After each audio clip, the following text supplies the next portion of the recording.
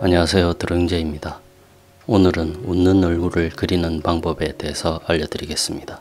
나탈리 포트만님을 그려보면서 알아보겠습니다.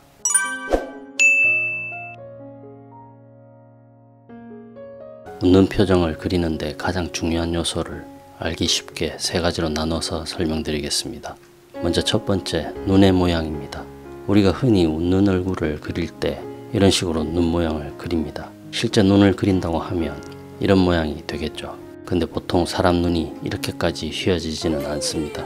물론 눈이 작은 사람의 경우는 눈을 거의 감은 상태로 미친 듯이 웃는다면 비슷한 모양이 될 수도 있겠지만 일반적인 사람들의 눈웃음은 그 정도는 아닙니다. 눈을 잘 관찰해 보면 보통은 이렇게 눈이 가늘어지는 정도입니다. 가늘어진 눈꼬리에 주름이 생기고 눈 앞쪽이 길게 휘어집니다. 이런 형태의 눈을 전체적으로 보게 되면 휘어진 눈의 모양이 되는 겁니다.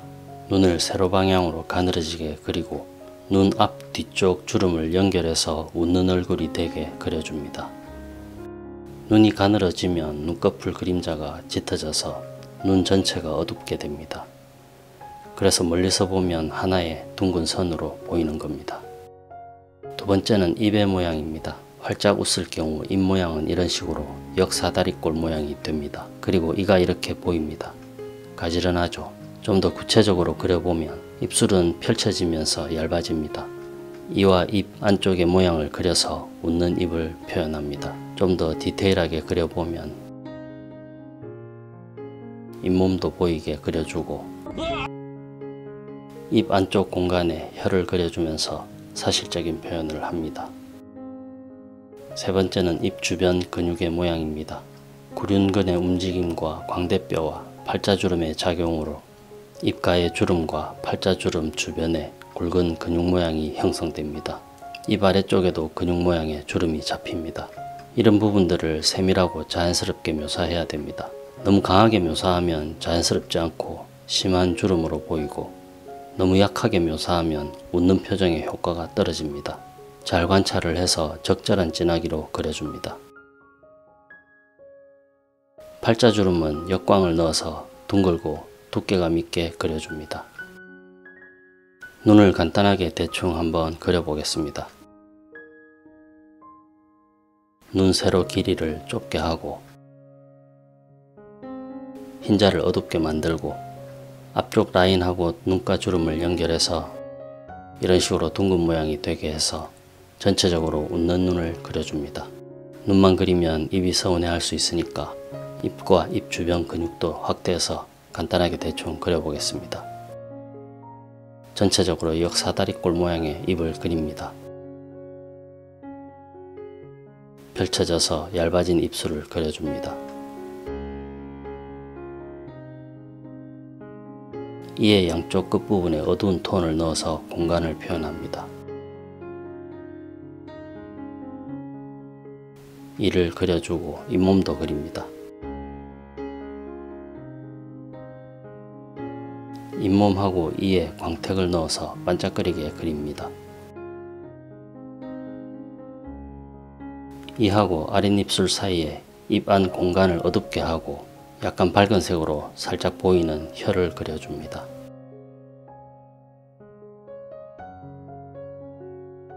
웃으면서 생긴 팔자주름의 두께를 둥글게 그려줍니다.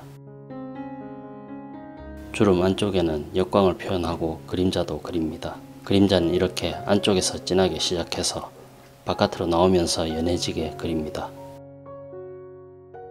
톤을 이런 식으로 연해지게 그리는 겁니다. 지금까지 알려드린 웃는 얼굴 그리는 방법을 사용해서 나탈리 포트만님을 그려보겠습니다.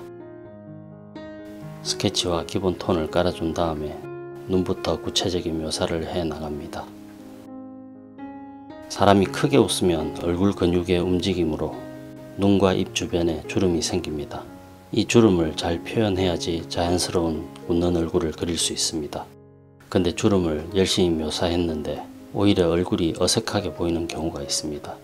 웃는 표정을 관찰해 보면 무표정할 때와 비교해서 주름이 아주 강하고 선명하게 보입니다.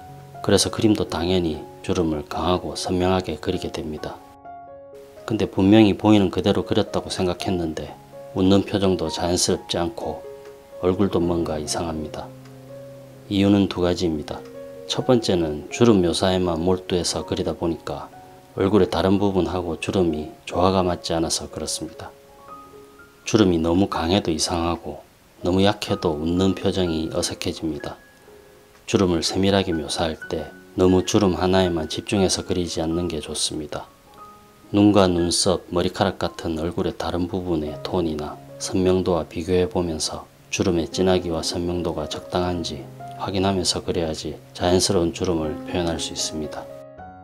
그러니까 특정한 부분을 그린다고 할 때 묘사하고 있는 그 부분만 뚜렷하게 보면서 그리는 게 아니고 그림 전체를 파악해 가면서 그려야 됩니다. 주름 같은 작은 부분을 너무 몰입해서 보면서 그리게 되면 전체적인 그림에서 조화가 맞지 않게 됩니다. 그래서 톤이 너무 강하거나 너무 약하게 되기도 하고 다른 부분에 비해서 너무 오버해서 세밀하게 묘사한다든지 해서 조화가 깨지고 자연스러운 표현이 안 됩니다. 반드시 다른 부분하고 비교해 가면서 강약과 묘사 정도를 적당하게 맞춰서 하는 것이 자연스러운 웃음을 표현하는 데 중요합니다. 두 번째는 주름하고 근육의 모양이나 위치가 틀려서 자연스러운 웃음 표현이 안 되는 겁니다. 대부분의 사람들이 눈, 코, 입의 위치와 머리카락 모양 같은 부분은 아주 세밀하게 측정해서 심혈을 기울여서 그립니다. 근데 눈가 주름이나 입 주변 주름 같은 경우는 눈대중으로 보면서 대충 그리는 경우가 의외로 많습니다. 눈주름하고 입가의 팔자주름 그리고 입술 주변에 짜잘한 잔주름 같은 부분을 위치는 물론이고 굵기하고 길이까지 정확하게 그려야지 자연스러운 웃는 표정이 됩니다. 주름으로 인해서 생기는 그림자도 마찬가지입니다. 아주 정확하고 디테일하게 묘사해야 됩니다. 주름이 조금 굵어지거나 길어지면 별거 아닌 것 같아도 다 그려놓고 보면 어딘가 어색한 웃음이 됩니다. 주름같이 작은 부분도 전체 형태에 영향을 주기 때문에 정확하게 스케치하고 묘사해야지 자연스러운 웃는 표정이 됩니다. 모든 그림이 다 마찬가지지만 특히 얼굴을 그릴 때 가장 중요한 건 정확한 형태입니다.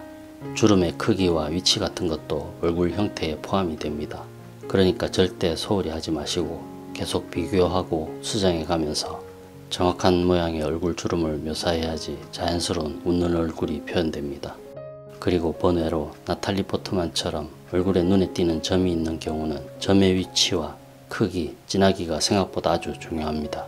위치하고 크기 그리고 진하기를 정확하게 해서 묘사하면 나탈리 포트만의 매력적인 점이 되지만 점이 커진다든지 너무 진해지기라도 하면 짜장면 튕게 되기도 하고 얼굴에 똥파리 앉은 것 같이 되기도 합니다.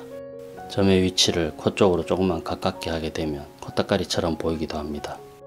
눈하고 코, 입끝하고 비교해 보면서 정확한 위치에 적절한 크기의 점을 적당한 진하기로 그려줘야지 나탈리 포트만 특유의 매력점이 됩니다. 나탈리 포트만은 아역에서 성인 연기자로 성공한 아주 이상적인 케이스죠. 나탈리 포트만처럼 아역 배우로 시작해서 어릴 때의 인기를 커서도 유지하면서 연기력을 인정받고 지속적인 배우 생활을 하는 경우가 있습니다. 그렇지만 그 반대의 경우도 많이 있습니다. 어릴 때는 정말 연기도 잘하고 인기가 많았었는데 커서는 역변하면서 인기도 사그라들고 대중의 관심도 사라지는 경우가 많죠. 그런 역변의 경우는 요즘보다는 예전의 아역 배우들이 더 심했던 것 같습니다.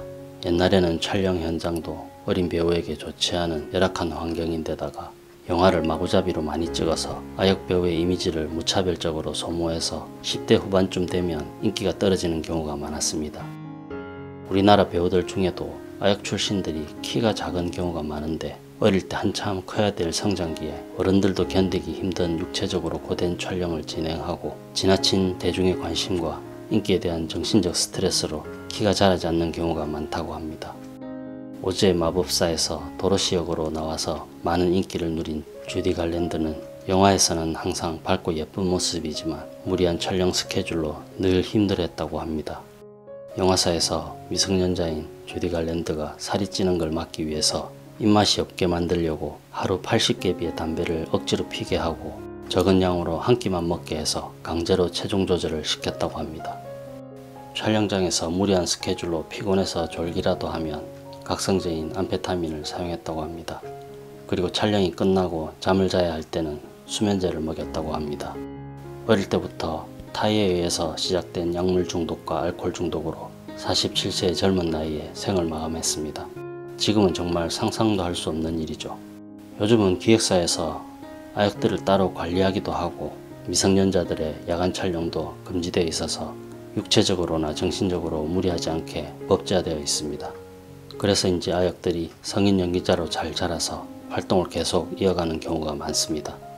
아역 출신으로 잘 나가는 배우 중에 요즘 제가 좋아하는 연기자는 18 어게인, 18 어게인의 노정의, 그리고 여신강님의 문가영입니다. 근데 모른 척 해주면 안 될까? 두 사람 다 어릴 때부터 연기를 해서 그런지 연기도 정말 잘하고 비주얼도 역변 없이 너무 예쁘게 잘 자랐습니다. 남자 역 출신 배우 중에 좋아하는 사람은 당연히 없습니다. 누가 역 출신인지 아예 관심도 없습니다.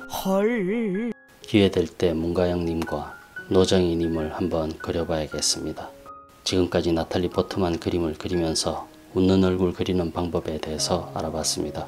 오늘 영상이 마음에 드셨으면 댓글 많이 남겨주세요. 여러분의 격려가 저에게 많은 힘이 됩니다. 시청해주셔서 감사합니다. 구독, 좋아요, 전체 알림 설정도 부탁드립니다.